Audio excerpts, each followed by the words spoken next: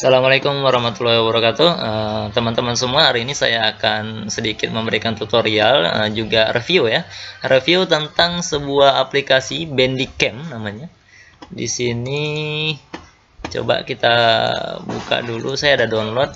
Nama aplikasinya itu adalah Bandicam seperti ini teman-teman.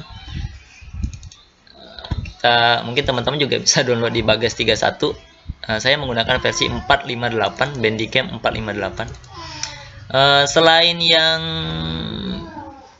permanen ya, yang langsung diinstal di komputer kita kita juga bisa menggunakan aplikasi yang menggunakan portable. Saya lebih senang yang portable jadi saya tidak perlu memikirkan crack-cracknya jadi kalau misalnya mau make tinggal uh, kita buka saja portable itu. Nah di sini uh, kita review dulu. Ini ada Bandicam uh, Bandicam 4 berapa tadi ya? Uh, beberapa fitur dari Bandicam ini. Di sini ada uh, rekaman recording uh, saya menggunakan recording yang full screen. Nah, saat ini teman-teman saya juga sedang recording menggunakan Bandicam jadi kalau teman-teman yang pengen membuat kayak tutorial seperti saya menggunakan aplikasi Bandicam ini sangat cocok sekali digunakan.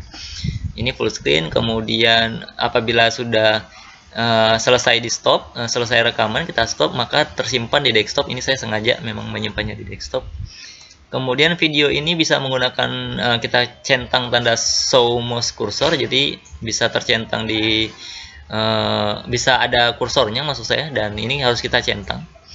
Kalau teman-teman pengen memulai dan uh, menstop video yang atau rekaman layar laptop teman-teman, teman-teman tinggal buka F12 aja. Jadi kalau mau ngerekam tinggal pencet F12, mau stop tinggal pencet F12 juga seperti itu teman-teman. Nah ini kita minimize dulu. Jadi kalau teman-teman uh, mau tahu tampilan itu ada di atas ini. Uh, di sini tuh ada muncul recording 1 menit 59 detik.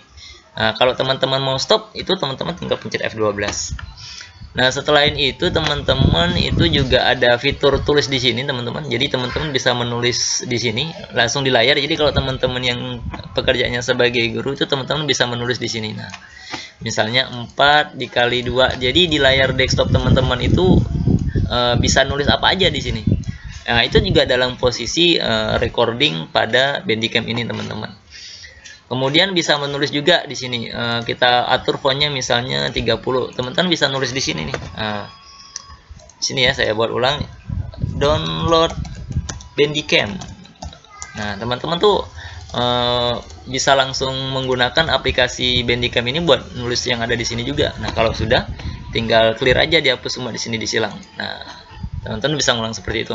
Jadi teman-teman uh, ketika teman-teman sudah selesai, teman-teman bisa mencet stop yang ada di sini uh, dan teman-teman bisa pencet F12 untuk men-stop video. Kalau videonya sudah di stop, maka video itu akan muncul di sini. Seperti ini teman-teman. Ini adalah video-video dari hasil uh, recording saya. Ini satu, dua, kemudian tiga, empat. Baiklah teman-teman, itu saja mungkin review tentang aplikasi Bandicam. Ini sangat bagus teman-teman yang pengen membuat tutorial-tutorial atau merekam layar laptopnya untuk eh, kebutuhan-kebutuhan uh, tertentu. Uh, terima kasih sekian tutorial dan review dari Bandicam ini. Uh, jangan lupa subscribe di Raja Wali Komputama. Assalamualaikum warahmatullahi wabarakatuh.